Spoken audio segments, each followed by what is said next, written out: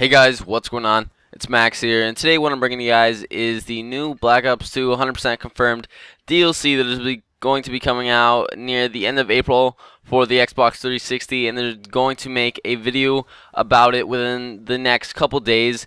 Now, the reason why I know this and the reason why I know it's confirmed is because someone found the source code. What they did is they went onto the main Call of Duty website and uh, they inspected the elements or whatever and they viewed the source code and saw these images on the screen. I'm going to show them in a second. These images, and uh, this was found out by I'm Chucky for the win. I did not find this. He is the first finder. He is the one to find this, and uh, give him credit for finding this because he is the first one to definitely find this, and he let like pretty much everyone else know. So uh, definitely go give him credit for finding this because uh, I would not know this, and anyone else would not know this.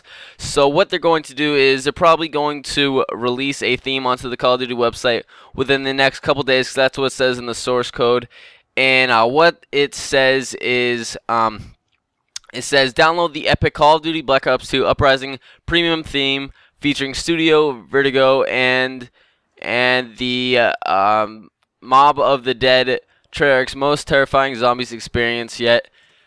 Now, uh, this is not what's going to be in the map pack. It's only some of it because this is going to go onto the theme of the website. And there's also going to be a video about this new DLC within the, next couple days because that's what they normally do. They normally release a video about the DLC about a month before it actually comes out to build up the hype. It's going to be coming around coming out around the end of April for the Xbox 360 because the first DLC came out within uh, I think the end of January so it's normally around a three month period in between. So this is pretty sick. This is definitely confirmed, and I am really excited.